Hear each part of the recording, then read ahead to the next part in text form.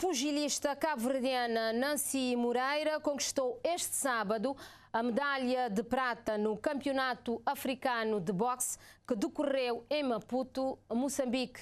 Na final Não, feminina dos tivemos... 66 quilos, Nancy teve pela frente uma das melhores pugilistas da atualidade, a argelina Isharak Shaib, que no último campeonato do mundo que decorreu na Turquia foi medalha de bronze. Nancy esteve bem no primeiro round, o mais equilibrado dos três, apesar de uma ligeira vantagem para a pugilista argelina por 3-2. O segundo round foi totalmente dominado pela argelina, com o resultado de 4-1. No terceiro assalto, Nancy esteve quase a vencer por KO naquele que foi o melhor assalto da pugilista cabo-verdiana, mas insuficiente para vencer.